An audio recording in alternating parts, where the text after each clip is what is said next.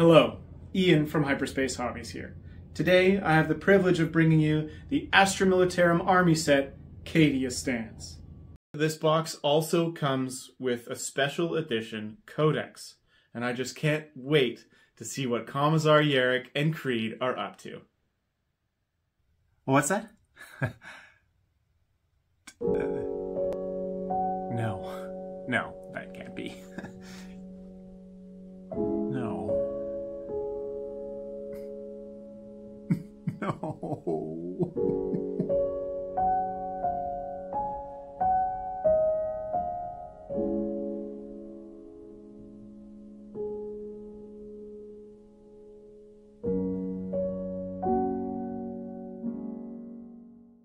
First of all, this box is massive.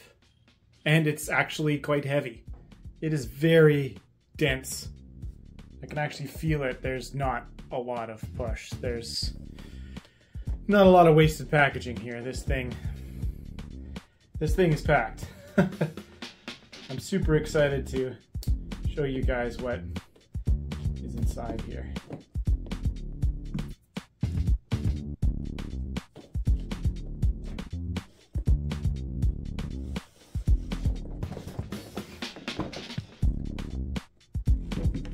Take a Look at that.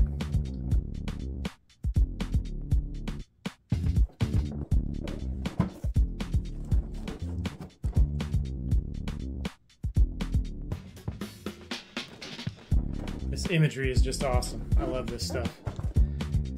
and of course, then there's the back that shows all the models that we get to put together.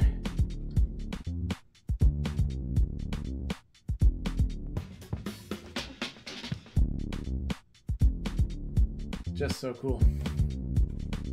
All right, so in this box, there are 20 Cadian shock troops, a Cadian command squad, a sentinel, and two ordnance teams. Those would be the new heavy weapons teams, the extra big uh, heavy weapons teams. Very cool. I'm also really interested uh, to see the ins and outs of the sentinel.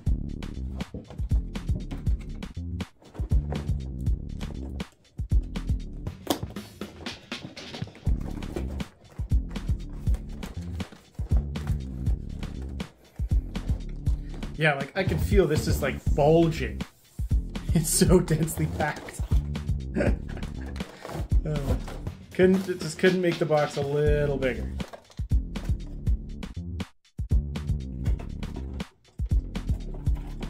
I've often thought like in the 41st millennium where I would end up if I would be on some type of farm planet where I work 20 hour days and die at the age of 30 from radiation poisoning.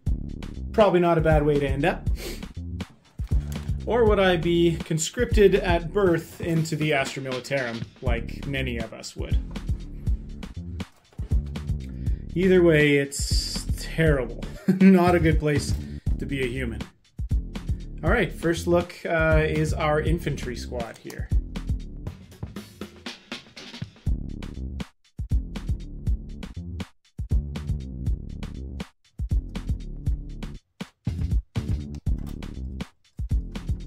They've given us an ample amount of heads.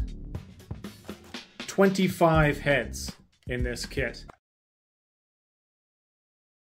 So you can really mix and match and personalize, which is great.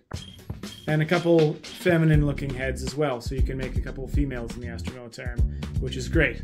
Way to go, GW. Yeah, this kit is awesome. You've got your Voxcaster here.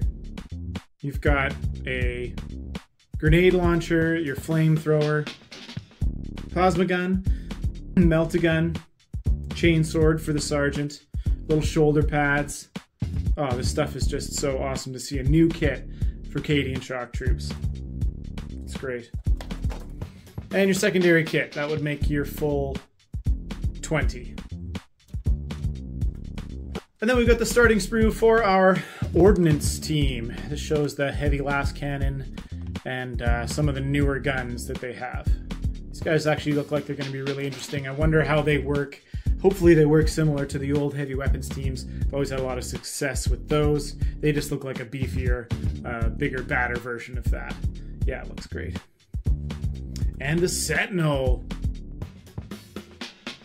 So Sentinel comes with a plasma gun, a autocannon, a little lascannon, a heavy flamer, and a multi-laser. He's also got this chain sword arm and a hunter killer missile and what looks like is a spotlight too.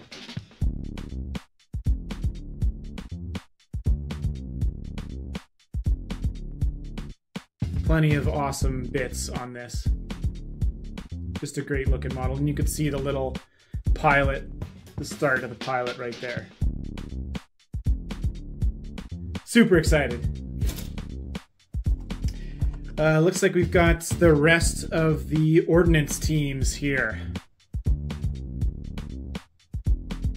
Comes with two ordnance teams, so this would be a little bit. This would be like the main chassis of both, and the extra lascannon and some some shells and stuff too.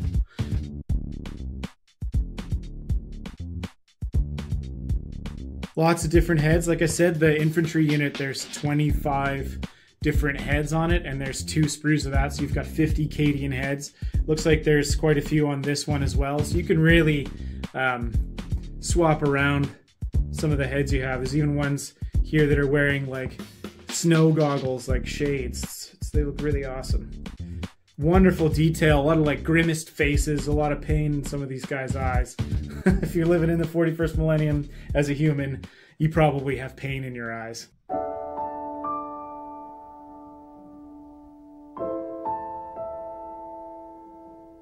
And then there's the Cadian Command Squad, which comes with a variety of different weapons. And this awesome flag here.